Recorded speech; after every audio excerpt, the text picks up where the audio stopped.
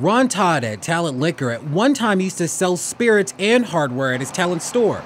That was until the Talent Walmart and Home Depot rolled into town, and he was forced to make some changes. When Walmart came to town, we had to make some changes in our in our inventory. He says large chain stores like Walmart that come into town and leave, like the Talent Walmart, put a strain on mom and pop shops. Did Walmart have any negative impact on your business?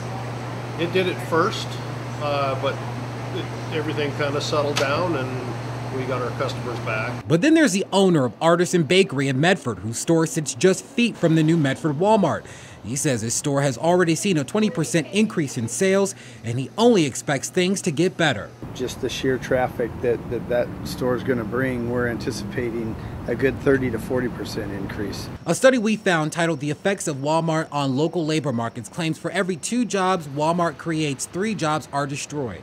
While Todd says he didn't have to lay off staff, he says chain stores force mom and pop shops to make some tough decisions in order to keep their doors open.